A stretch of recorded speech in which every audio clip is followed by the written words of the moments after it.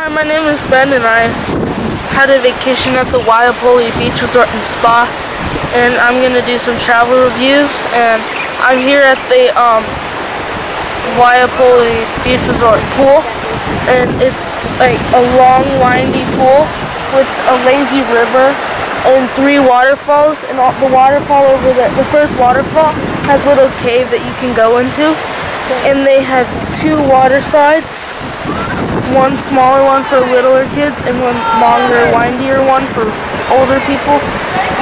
They have three spas,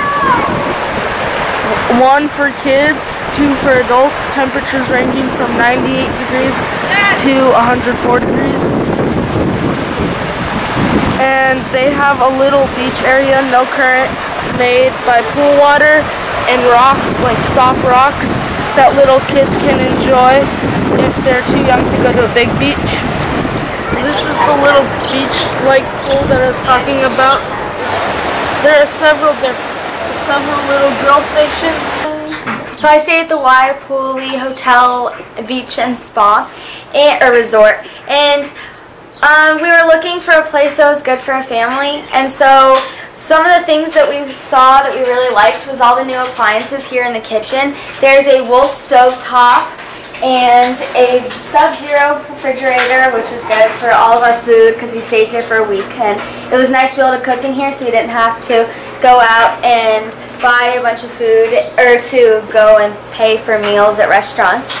Um, something else we looked at was a lot of space because we're a big family and not a lot of places offer a lot of space. And there was a whole bedroom, a huge bathroom that fit a lot of us. It could fit four people if need be.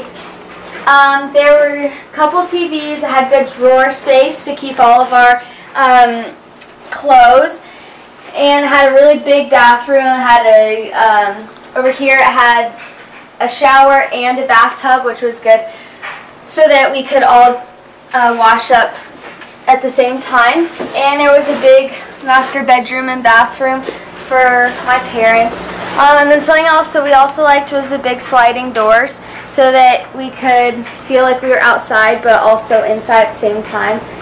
And it was just a really great place for us to stay at. Hi, I'm at the Waipouli Beach Resort and I am, and one of the things I loved about it was the beach. And I also loved that there were four sliders in our place and each of them in our place was also really quiet even though the resort was in full capacity. And our room was really close to the beach. Like our sliders opened right onto the grass and went right up to the beach. And the beach, it had a lot of sea creatures. The waves were awesome. The sand felt great. And at night you could just sit on, they had beach chairs for you. And you could just sit and look into the sky and the stars were really clear and really bright. We call the red redheads firebirds and redheads. And, and we see some snails. And then some are dead and and and uh, frogs, tulips, and also we love bananas and and there's